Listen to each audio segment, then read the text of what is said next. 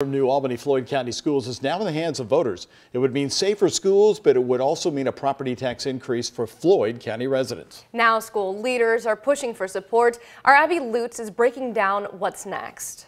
Well, the school district has voted unanimously to put this referendum in front of voters. It will appear on the ballot in the May 5th primary. And until then, school leaders say they'll push for support.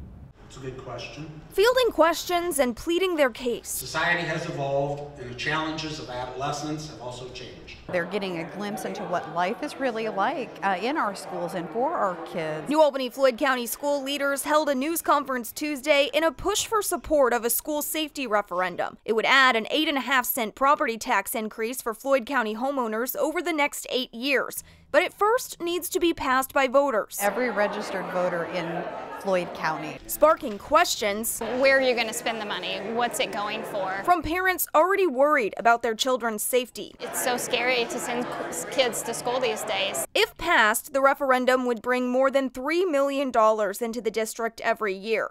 30% of that money is set to be spent on physical upgrades, 70% on mental health services. Mental health, especially, I feel like uh, a lot of people are not super literate or comfortable with uh, the whole scope of service that mental health is. I think that you have to be preventative in this situation and not reactive. Now it's full steam ahead. This has opened up a dialogue between our school corporation and our families. We're discussing societal pressures that are unfamiliar to them and um, the need for resources.